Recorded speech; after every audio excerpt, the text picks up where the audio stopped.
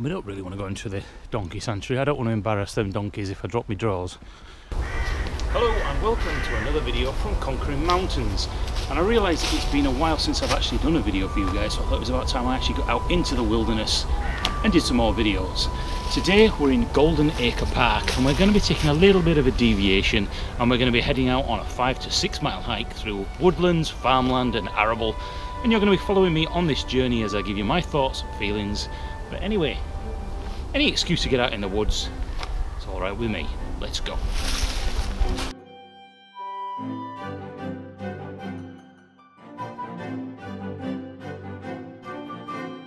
So we are, we've come under the tunnel from the car park and today I'm going to try and use the Garmin 650. Now if you've seen any of my other videos you'll know I've had nothing but frustration about this thing and the amount of times I've been out in the dale somewhere completely lost and this thing just decides to itself and just not tell you where to go. It's oh. So if you're thinking of getting one of these, not just this one but in general, don't be expecting it to be like a sat nav where it goes turn left, turn right here, and that sort of thing. What these actually do is it's kind of like estimated. So sometimes it'll go, it'll do a straight line, and you'll actually have to weave your way through farmhouses and things like that. It's almost like if you think of as the crow flies. So a lot of time you kind of got to use your own initiative when it comes to using these sort of things.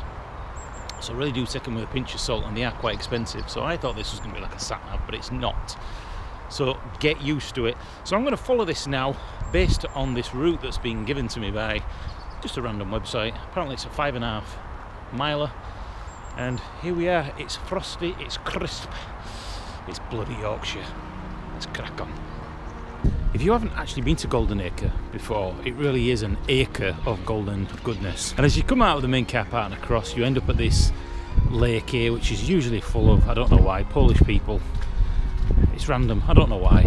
It's actually full of wildlife down here, swans, whatever, whatever. God, it's quite biting actually. It is quite cold. If you're looking for a, well, a kind of a nice Sunday brisk walk, then this is probably the ideal thing for you. As I said, I prefer the other side. I prefer to get away from people, as you all know from my previous videos. But uh, apparently this walk is going to take us off the beaten path and there is a section right around at the other side of this park that not a lot of people seem to know about. It goes through like, like stepping stones through the real marshy bog area and in some it's absolutely stunning. And there are actually some bird hides in there and there are also some on the far side of the woods as well. So I may show you a little bit of that but if you're looking to get away from Joe Public and you want that serenity of peace and quiet out in the countryside that we all like probably not going to get it. It's more of a family walk out this one I think but let's see as we get up to the old King's Road which I've never been to before but that's where the GPS is telling us we need to go and from looking at this it actually looks like it's working today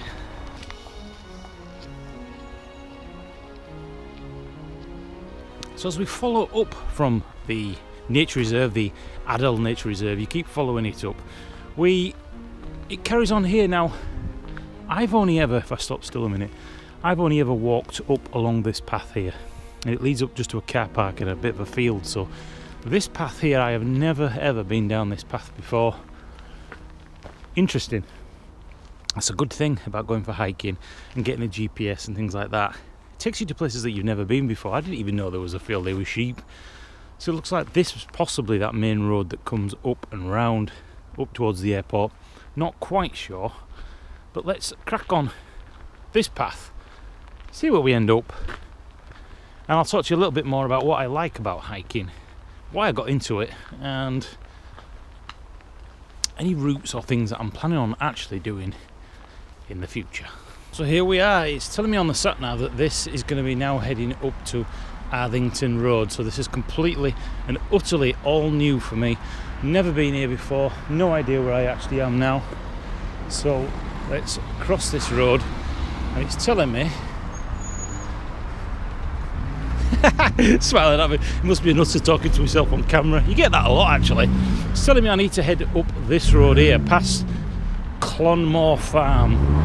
And we have to follow this dirt track up past the side of the road until we get to the top and I'm guessing that we're actually going to be going into those woods there and out into out into the sticks a little bit, which is where we want to be really. Don't really want to be down here in suburbia, so let's cross over here before I get run over by twats in big jeeps. We don't need a jeep. Why do you need a jeep or a, a Land Rover that size? A big, you know, one of these big heifer ones. When it's never going to get dirty, you're never going to go on a bloody farm. Tell me, it's just stuck up fat blonde bitches. Too much slap on, thinking the bloody footballers' wives. Fucking rancid, rice pudding assed, cellulite bitches. And they say the countryside mellows you out. anyway, this is where we are. Okay, so I've walked up this path here, and the sat nav is saying I've got to turn left here, and lo and behold, it looks like there's actually. I don't know if this stands for Leeds City Council Walkways or Wildlife, but uh, never been in here before. I've got no idea what these woods are called. I don't know if they're fungi. presume they are.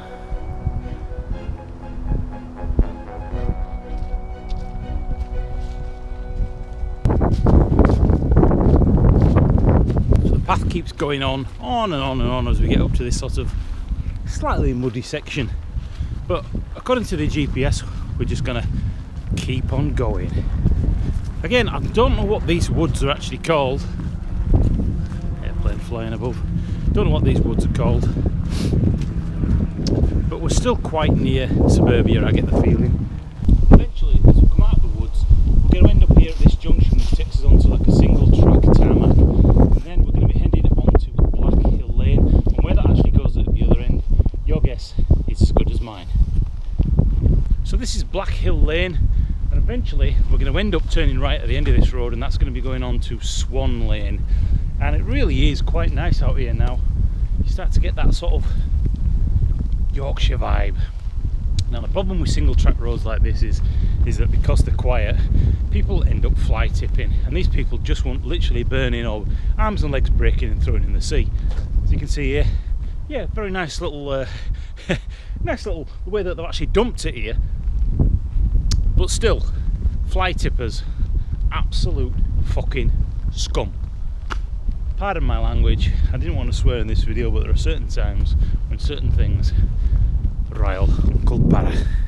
And there we are. So, come to the end of this road, I'm going to turn right onto Swan Lane, and then we're going to follow it up to Arthington Road. And it looks like it mentions on the actual uh, on the actual description of it the Donkey Sanctuary, Swan Lane, T Junction. And we don't really want to go into the Donkey Sanctuary. I don't want to embarrass them donkeys if I drop my drawers. You know what I'm saying?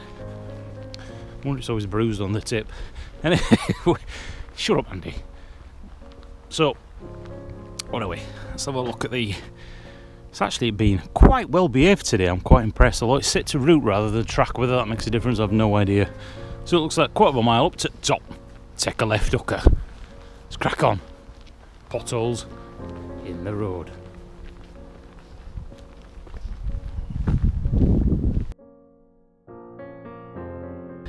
Oh, it's free to enter, and there's a delightful cafe.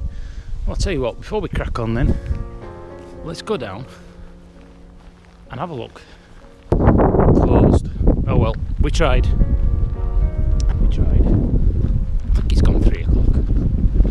So let's. This is where we're going to go then. Over this footstool here, out into yonderness. Again, never been here before. Got no idea where we're actually going. And over to our right, hopefully you can see on the video, there's actually quite a lot of donkeys. Continue past the donkey sanctuary. We're going to come up to this gate, and we're actually going to continue straight on. Now, there are sheep in this field. Doesn't bother me in the slightest. But when it comes to cows, completely different matter. Especially if they've got calves in the field, as you may know, more people die by donkeys and cows than they do in airplane crashes. It's a little bit of a myth as well that if you're wearing red, the bulls will attack. Bulls are actually colourblind. It's just that it's a flat sheet that they stare at because it's the largest object when you're flapping it in front of their faces. This because when I was up in the Dales once, me and Steve mountain biking, my mum's partner, came to a field and he said, beware the bull. And this bull was a freaking massive, like King Kong bull. It were massive. And obviously, me wearing this, so as soon as I put bike over, I pedalled like a mofo. You know, legs were killing me like fat Whitbread. Straight to the other side, Steve just walked through like a boss. Ain't nothing. Chemtrails. We'll leave that video. So, as you can see down there, below the chemtrail, there's East of Brearley Farm. And quite a lot of sheep, not the most sheep I've seen in the fields around this area. But yeah, look at them, they're really inquisitive, aren't they? Yeah. So we're going to get along here through this little path here, and then we're going to be, according to the sat nav. We're going to be heading right along Arthington Road, past East Brearley Farm, and then we're going to follow that up towards the King's Road. Oh, ah, my lord, King's Road. Where are them wenches? But hey ho, c'est It is. This sheep is probably going to walk away. But look how stocky that sheep is. That is what I call a fluffy sheep.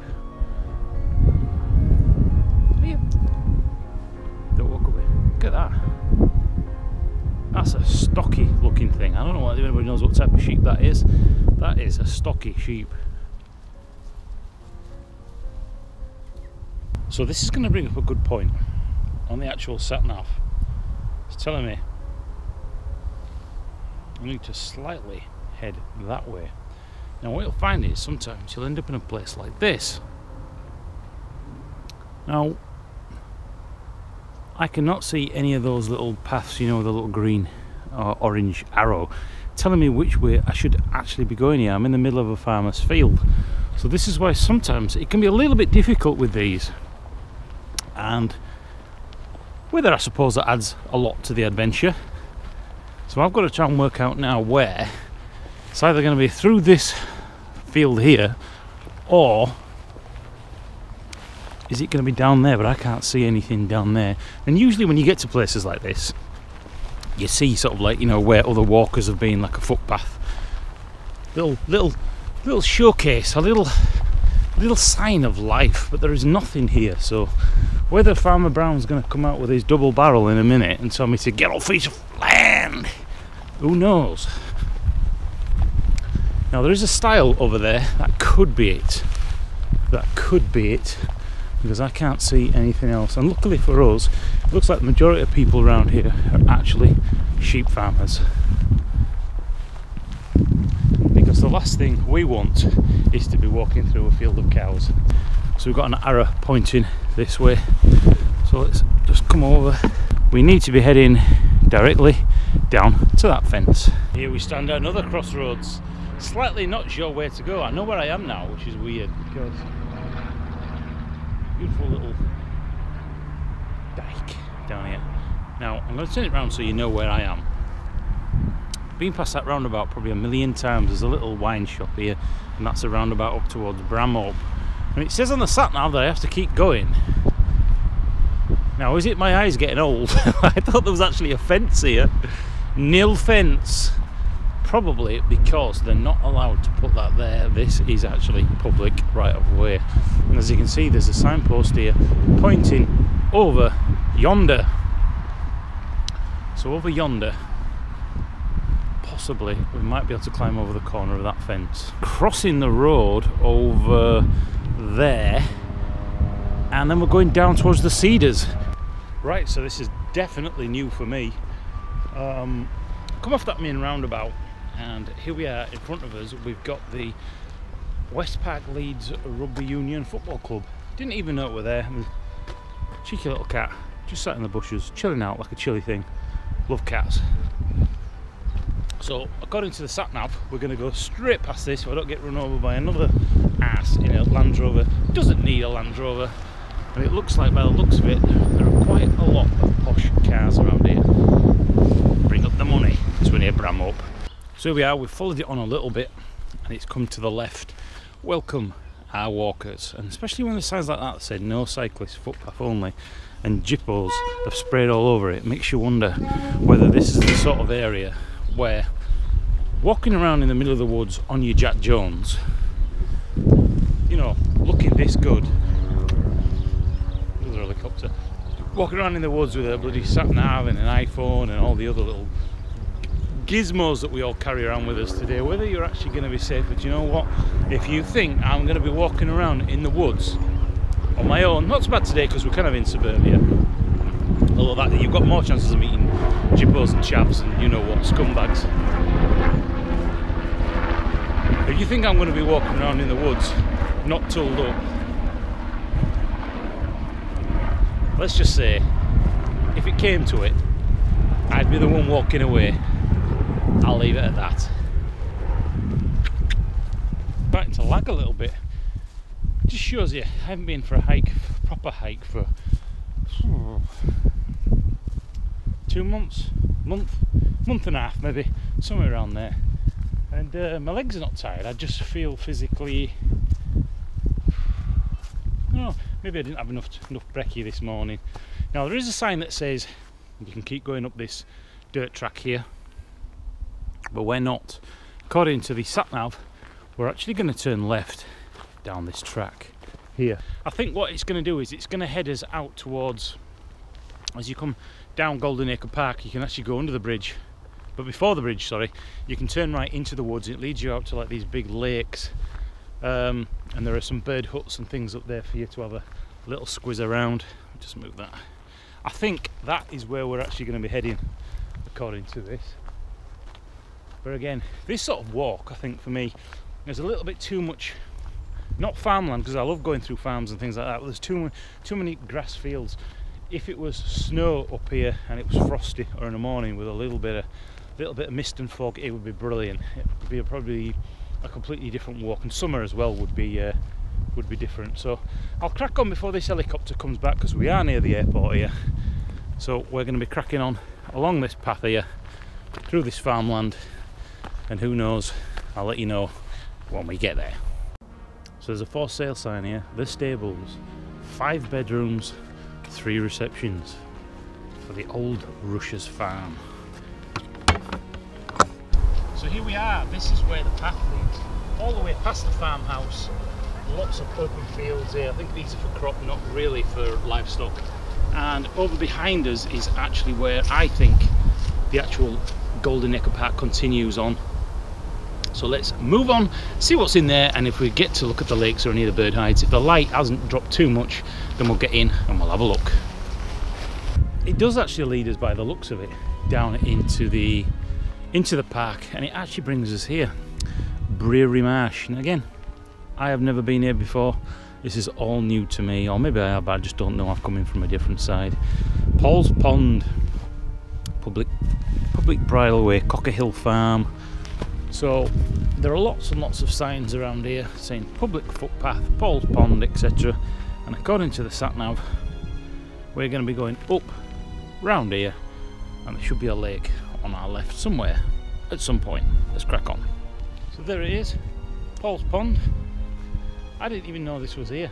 There are so many ways through these actual woods you really can get lost. You just need to keep heading in the same direction you actually came into here.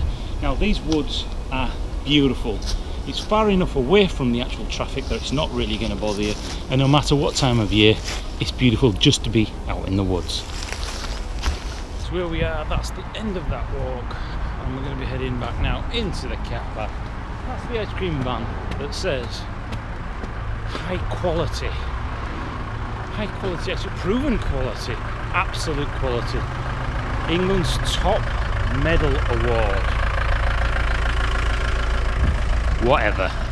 I hope you enjoyed that video from Conquering Mountains, which is usually on my other YouTube channel, but I thought, you know what, I'll stick it on here and let other people on my main channel, Paraplayers, have a little looky at some of the other videos that I do out there on interwebs. I also have a virtual reality channel as well, but due to the house situation, I haven't really done much, and with Airsoft probably coming to the end of its end of its life for this year anyway. I'm hopefully going to do some more stuff with more cameras later in the year. This has just been a little hikey hikey video. I'll put a link at the bottom if you want to have a look at some of my other hiking videos. But in the meantime, Thanks for watching, subscribing, and sticking with me through this turbulent year of changing around from a gaming channel into basically what the hell I want to do when I want to do it. Thanks for watching, subscribe, and thumbs up, and all that good stuff. And I'll see you in another video, no doubt, for this channel on the Airsoft side. Coming real soon. Thanks for watching. I've been Paraplays.